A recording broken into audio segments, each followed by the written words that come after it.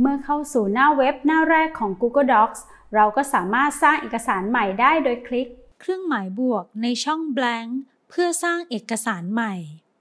แต่ถ้าหากต้องการใช้รูปแบบธีมสำเร็จหรือ template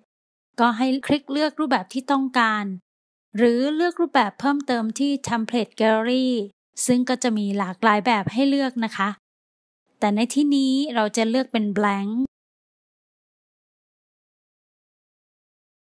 ก็จะปรากฏหน้าต่างหลักของ Google Docs ซึ่งจะอยู่ในรูปแบบของหน้ากระดาษ ขนาดมาตรฐานกระดาษ A4